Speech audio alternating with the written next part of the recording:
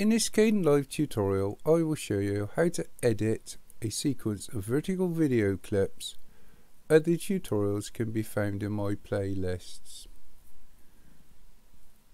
Okay, well it's, it's a while since I've worked with Kdenlive, um, so bear with me. I've got to sort of remind myself how to do this. Um, one thing, if you've never used Caden Kdenlive, especially if you're in Windows, I would go for the standalone version. Now, the only problem with the standalone version is when you upload it, you'll get something like this. It'll say standalone exe. You double click it, let Win accept Windows banner, which stops you initially in um, opening it up, and you'll end up with a folder probably in your downloads which will say standalone if you double click this, it's not obvious how you open up um, Live. If you double click bin, very carefully, just scroll down and it's easy to miss. You'll see something called Kdenlive EXE and it'll be quite a large folder. You're looking for the EXE and just double click this and it will open up the video editor you want to make sure that you're in editing. So select this. And also obviously if you're going to head and just um, render your videos you can make a start now. But this is set up for um, 16:9 aspect ratio HD um, so you need to change a few things. So what I would do especially if you're new come up to project select this and select project settings. Now what's this setup? Yeah this is set the default setting looks like 1920 1080 25 frames per second. So I want to change this.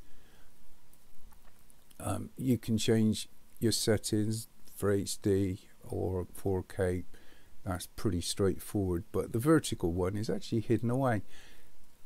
You got custom right at the very bottom.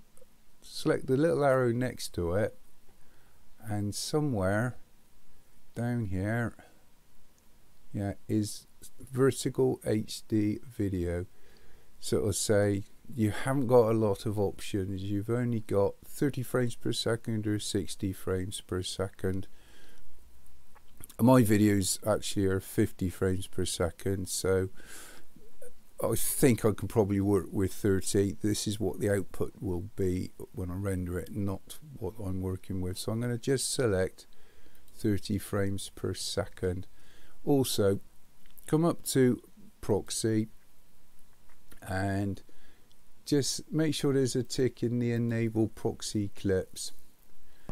Um, this will create um, smaller files to work with. It just makes editing a bit easier. It won't affect the actual um, final result. So we got proxy selected, vertical HD, and I'll just select OK. Don't worry about this. Gumph, just select O continue and you'll end up with your vertical video format. Make sure that the project bin is set. It, set. You don't want these selected. You want project bin. And rather than going through the palaver of importing through this uh, bin here, I always make sure that I've got my videos already selected and I'll just drag them into the bin. And that's fine. Now it says no profile found for your clip.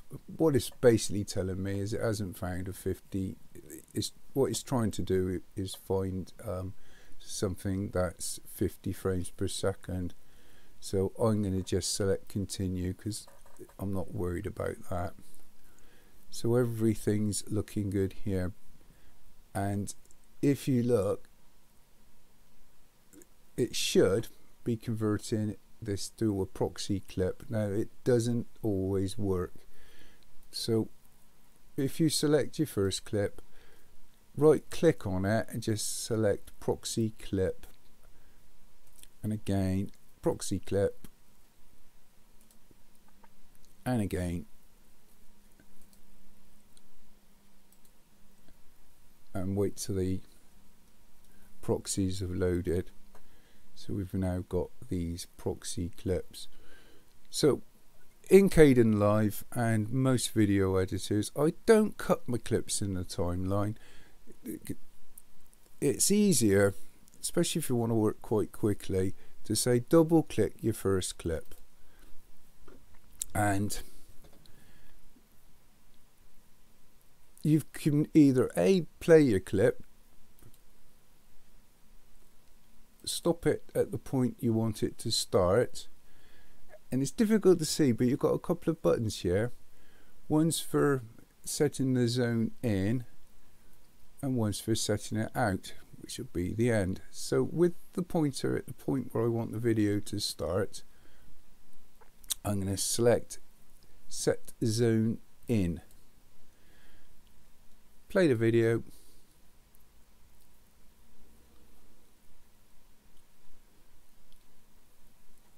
stop it at the point I want it to finish which is here and I'll hit set zone out. If I can't remember may, it might even be you can press O on your keyboard. No. Some video editors you can just press O. So I'm going to just select this set zone out. So now this video will only play from these points here. And I'm going to just drag the video into the timeline track so it snaps up.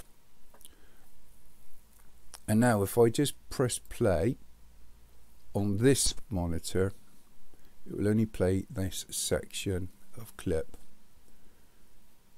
which is fine.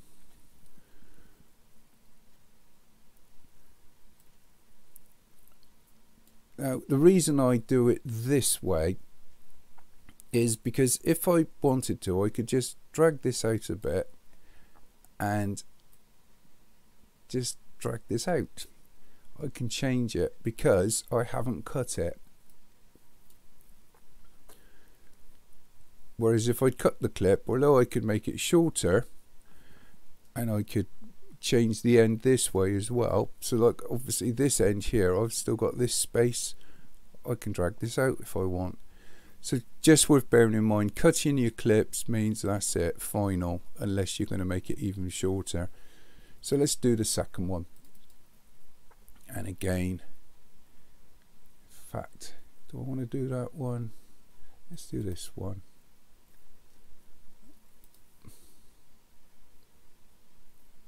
Maybe this one. Yeah, that's a more interesting one. Okay, so a bit of time, I'm going to just drag this along this marker along here. I'm going to set it in, drag this one along this way, and set out, drag this in, and snap it up like this. What this means is I can, if I want, change the length of this one in this direction and this one this way, rather than if they were close together. So that's fine. So I've done one, that one. Let's do this one. This one doesn't do that much.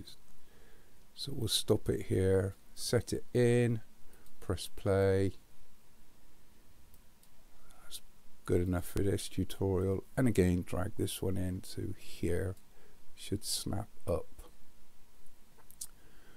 One more and again this one doesn't do that much so we'll run it.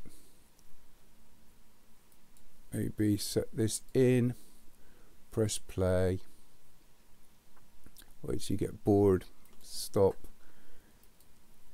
And set out. So using these two buttons here. And we'll just drag this in and snap it up using this project uh, monitor here you don't want um, project notes you want to make sure project monitor is selected with your pointer right at the beginning and this is where proxies come in handy I'll just show you so like if this was say OpenShot you couldn't do this. Um, but anyway, that's another story. So let's press play and make sure we're happy.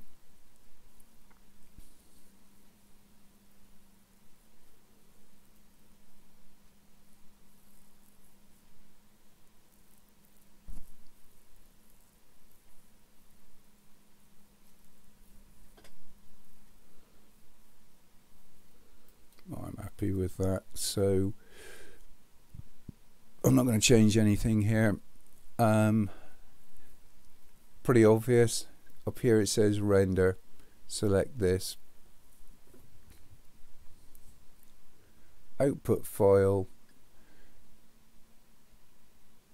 This is going to place it in my videos folder. So you can change where it goes if you want. Just select the little folder here and freeze. Let's bang it on the desktop. Um, and I don't know.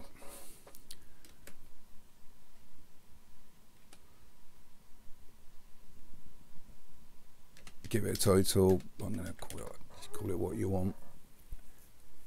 Save. And then you got options for what format you want to use for your output.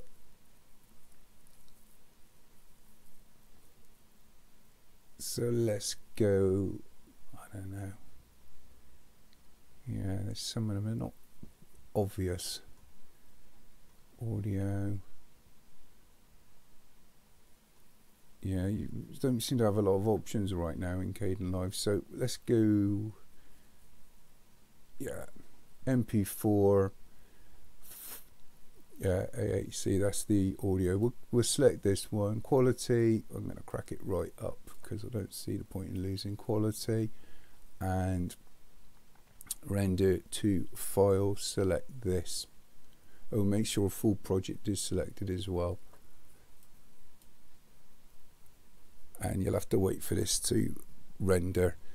I'll come back to it when it's finished rendering.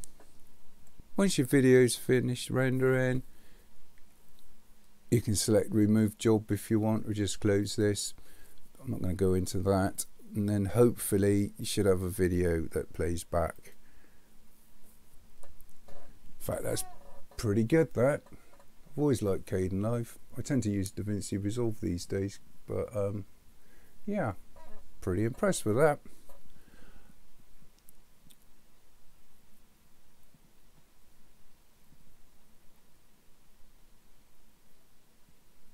Works for me.